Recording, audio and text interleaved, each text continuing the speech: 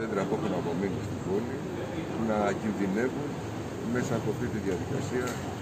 Τι ζητήσαμε, ζητήσαμε να συγκριθεί άμεσα το Δημοτικό Συμβούλιο, να συζητήσουμε πώς μπορούμε να υπάρξει μια άλλη λύση ή να είμαστε σίγουροι ε, ότι θα προστατευτούν αυτά τα δέντρα και ποιος θα είναι υπεύθυνος γι' αυτό.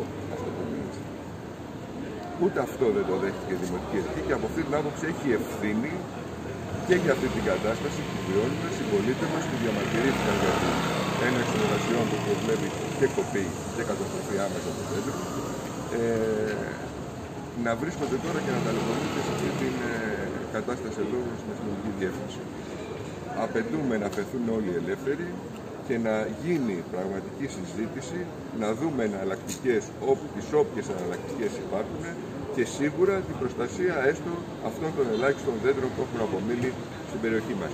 Θέλουμε να γίνει, και το τονίζουμε αυτό, θέλουμε να γίνει το γυμναστήριο, είναι απέτηση της πόλης, το χρειάζεται, πρέπει να βρεθεί όμως η κατάλληλη μέθοδος, η κατάλληλη, ε, ο κατάλληλος τρόπος ώστε να γίνει αυτό το γυμναστήριο και άμεσα, αλλά να προστατευτούν και τα δέντρα που έχουν απομείνει σε αυτή την πόλη.